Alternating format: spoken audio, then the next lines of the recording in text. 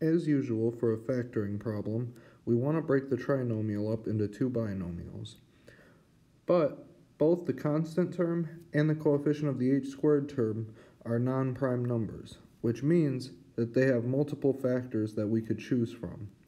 So we have to look at the possibilities of how they'll multiply out to get the 28 in the middle. So here is a list of all the possibilities. And as you can see, the only pair that'll work is the 14 and 14 that would be produced from the 2 times 7s. So we just have to figure out the signs. Since there's a plus sign there, that means that it's either both plus or both minus. Because of that negative, they both need to be negative. So this here is the answer, 2h minus 7 squared. And that's it.